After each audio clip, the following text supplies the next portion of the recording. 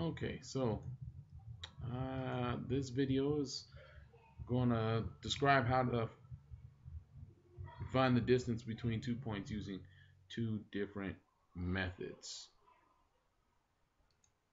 The first method is using the Pythagorean theorem.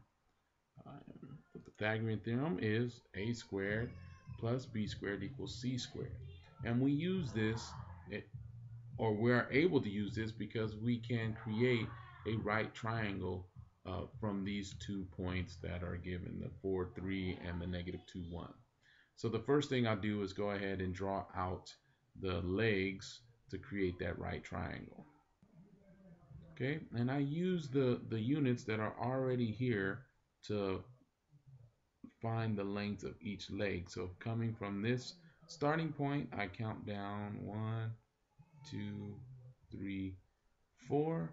So I have four for the for the length of this leg, and then I count from here one, two, three, four, five, six, seven, eight, nine, ten, eleven, and twelve. So I get 12 units there. All right, and now let's go ahead and substitute these values into the theorem. So 4 squared plus 12 squared equals c squared. Square the values, so that's 16 plus 144. And add the values, and so that's going to be 160 equals c squared and then go ahead and find the square root of 160 and c squared giving us an approximation of 13 units. Okay, so now it's your turn to try. Go ahead and use the Pythagorean theorem to find the distance between these two points. So pause the video and then try it. Okay, so did you get C is about 8 units? If so, you're doing great. If not, uh, recheck your steps and try again. Okay, the second method for finding the distance between two points is using the distance formula. And so what's the distance formula? Here is the distance formula. So it has a lot, it has more variables in it.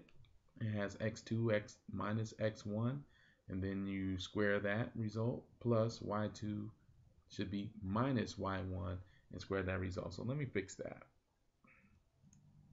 All right, so now the formula is correct. x2 minus x1 squared plus y2 minus y1 squared. So the first thing I do when given these two points is label my x1s and x2s and make sure I have it on pen. There you go, have it on pen. So this is my x1 and my y1 because these are my first ordered pair and each ordered pair has an x value and a y value. This is my second ordered pair so I have an x2 and a y2.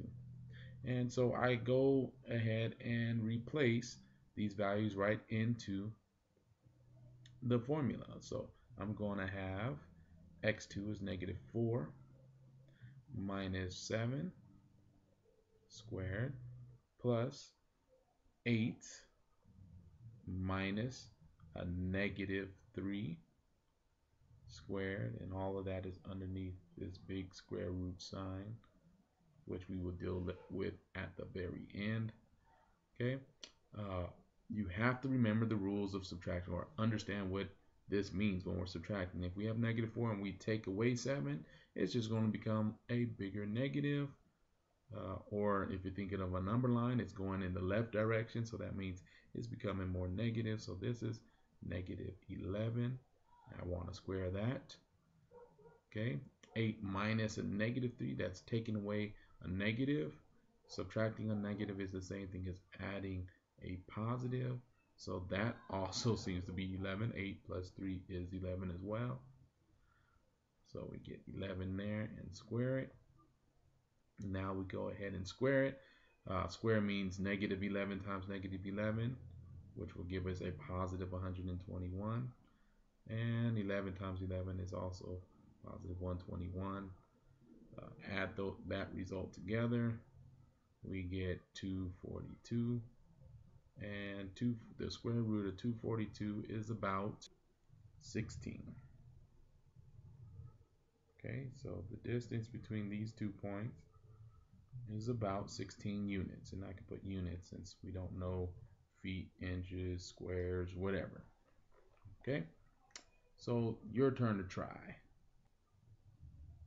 Okay, so take these two points and find the distance between them using the distance formula. Go ahead and pause the video and then unpause it to check if you got the same the right answer. Okay, you should have gotten that D is about 12 units. You got that, you're on your way. Now you know how to use the distance formula and the Pythagorean theorem. So go back uh, and try some more problems. Redo your quiz if you have to, but good luck.